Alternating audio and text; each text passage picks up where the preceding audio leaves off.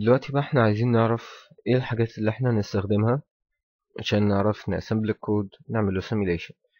أول حاجة هنحتاج assembler معين و simulator معين.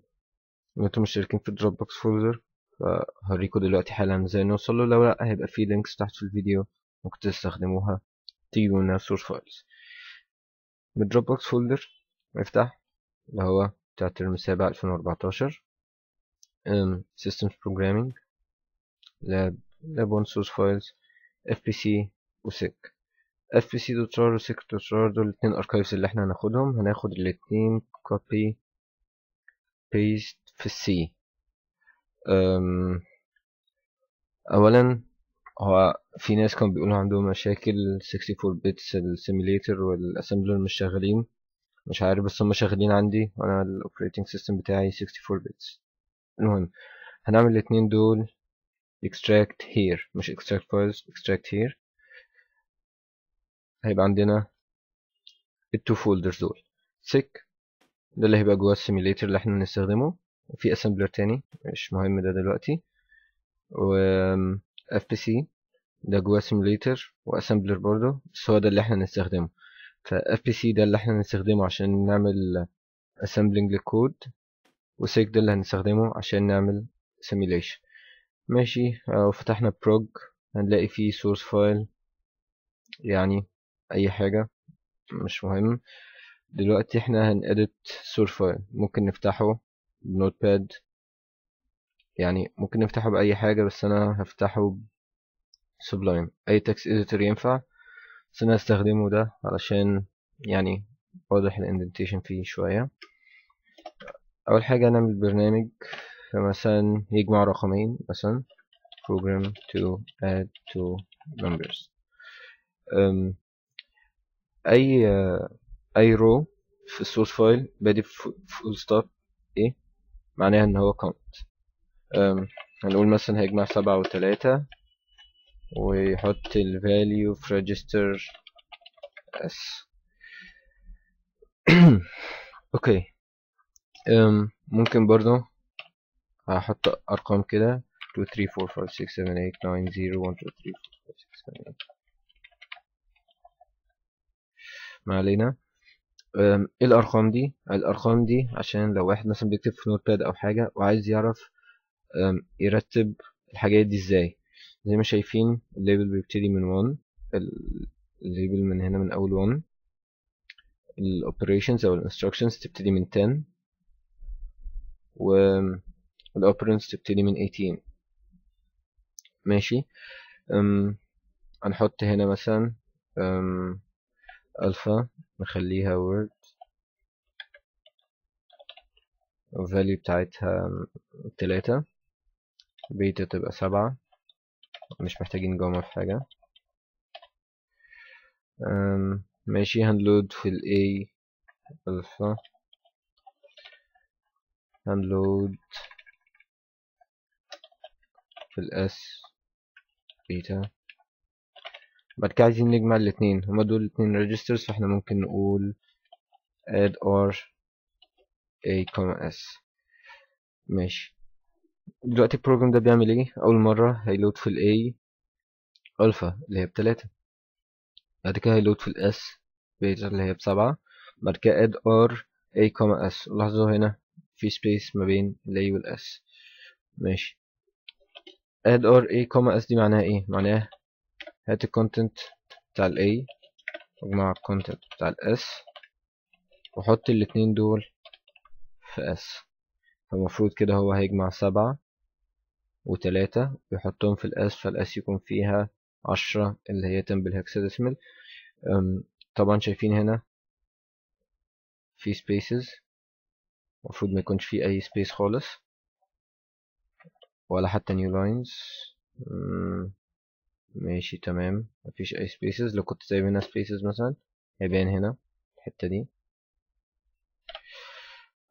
بعد كده ندوس control S عملنا save نجرب بقى نعمل إيه؟ نعمل assembling لل code في هنا assembler بس مش هو ده اللي إحنا هنستخدمه. إحنا هنستخدمه بره.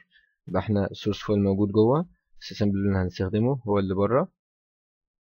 Successfully assemble ال code okay خلاص إحنا مش محتاجين كود ده في أي حاجة دلوقتي. دلوقتي لو فتحنا prog هنلاقي ال source file اللي بيجمع الرقمين ما علينا. وهنلاقي ال object file بعد ما عملنا assembling source file دلوقتي مش مهم بالنسبة لنا في أي حاجة. أهم حاجة ال object file hprobe 1 ده ال T record وده ال end بيقول له starting location وبتاع. ماشي هناخد ال object file ده. ناخده على إيه ناخده على sic عشان نعمل له assembling عشان نعمل له simulation sorry. دلوقتي إحنا هنا عندنا source file ده بتاع حاجة معينة. ده object file list file ده file devices ما علينا. المهم إن إحنا نعمل paste هنا. object file copy and replace ولا non copy ولا copy و keep both المهم هنعمل copy and replace. ده ال object file الجديد.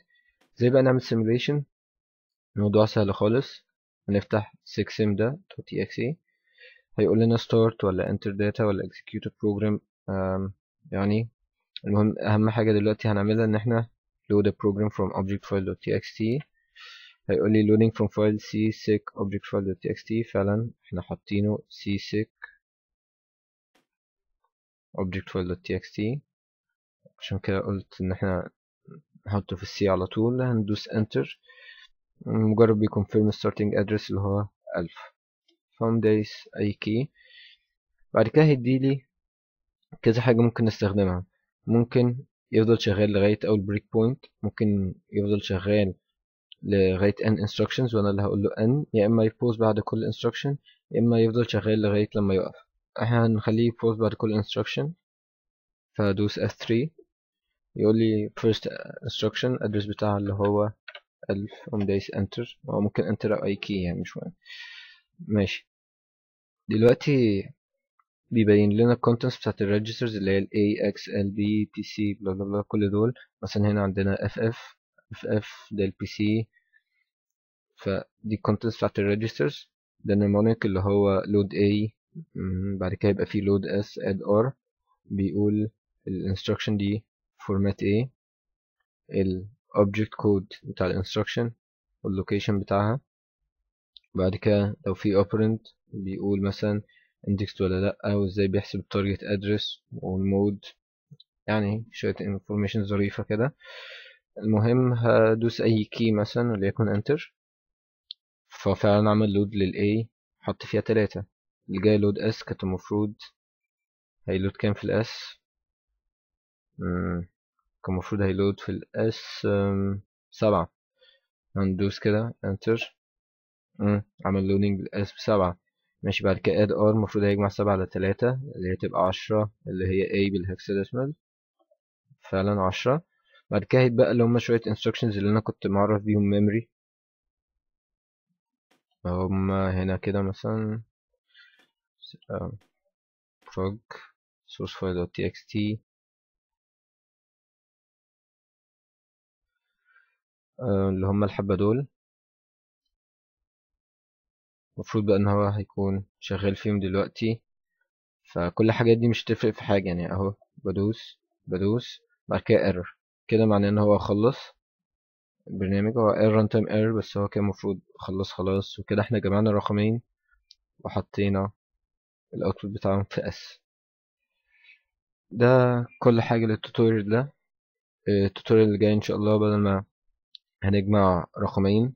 هنشوف إن إحنا لو عايزين نجمع أرقام من 1 ل n إزاي نستخدم ال loops بعد كده طب افرض رقم n ده عايزين إن إحنا ندخله بنفسنا مش تبقى حاجة constant زي ما إحنا مدخلين سبعة وتلاتة وكل مرة عشان لازم أغير الرقم ده لازم أغير ال value هنا وبعد كده أعمل assembling من الأول وبعد كده أعيد كل steps دي تاني وبعد كده أقوم أعمل له simulation. لا طب أنا لو أنا عايز أغيرها هعمل إيه؟